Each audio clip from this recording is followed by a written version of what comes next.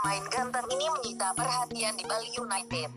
JPNN.com, Bali, mantan pemain timnas U19 Anis Sagara Putra menjadi salah satu sosok yang menyita perhatian di awal latihan Bali United.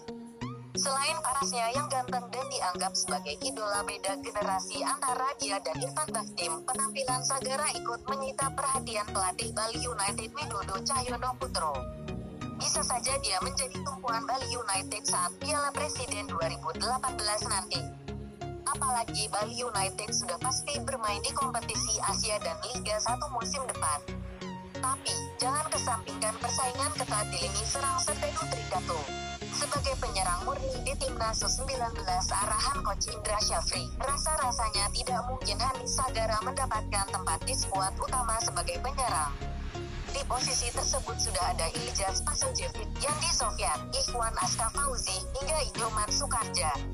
Coach Widodo sepertinya memiliki opsi lain untuk dapat memainkan Sagara. Dia bisa mundur ke posisi gelandangan serang atau menjadi second striker. Jelas ini menjadi hal baru bagi Sagara. Sebab dia memiliki gaya permainan yang oportunis di kotak 18 pertahanan lawan. Hal ini juga terlihat dari statistiknya bersama timnas U19 selama 19 kali pertandingan di semua ajang.